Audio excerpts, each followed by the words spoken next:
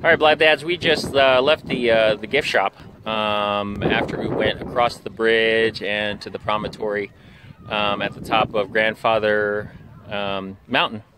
And uh, we're here at the hiking trails. As you can see, um, they warn people of uh, wearing the proper clothing as uh, well as watching for weather conditions. It changes, it's quick. I mean, first it's sunny, next you know, everything starts to roll in. It uh, had a couple of drizzles, but um, so that's one of the trails going right up there.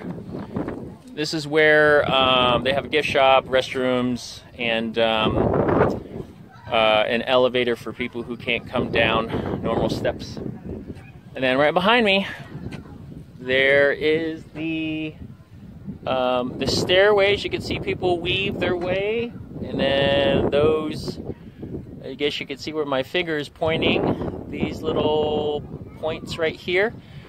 Um, that's the stationary structures to hold the hanging suspension bridge.